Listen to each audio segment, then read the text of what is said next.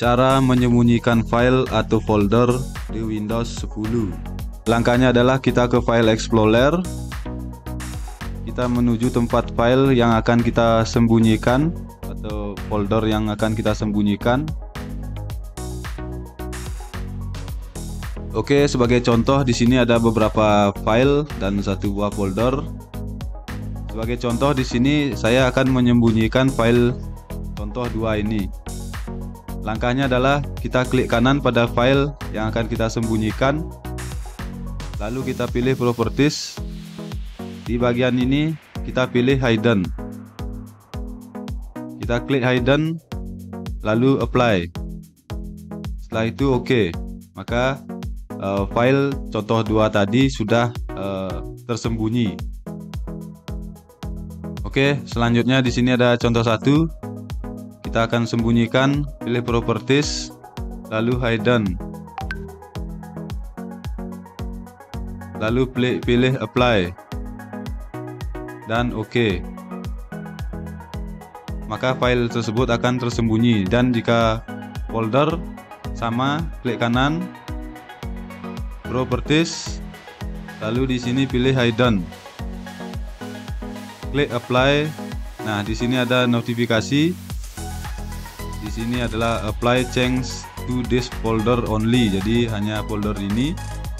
Dan yang kedua ada apply change to this folder subfolder and file. Jadi kita jadi kalau kita ingin menyembunyikan keseluruhan kita klik di sini. Dan klik OK.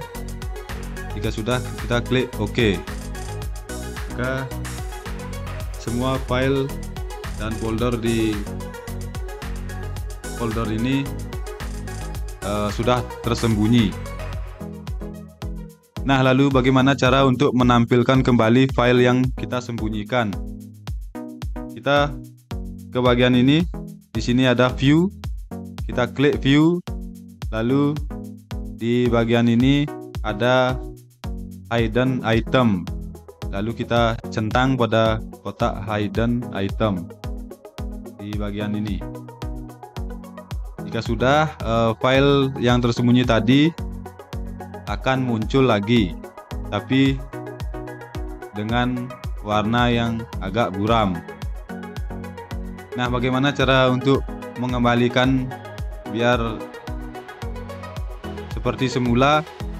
Jadi kita klik kanan pada filenya, lalu kita properties lagi, lalu kita hilangkan centang hidden ini, lalu apply dan oke. Okay maka di sini sudah normal kembali. Begitu, begitu juga dengan file yang lainnya, kita properties, lalu kita hilangkan centang pada hidden, apply dan. OK. Ini sama juga untuk foldernya, lalu kita properties, kita hilangkan centang pada hidden, lalu apply dan akan muncul lagi seperti ini. Kita klik OK dan. OK. Jadi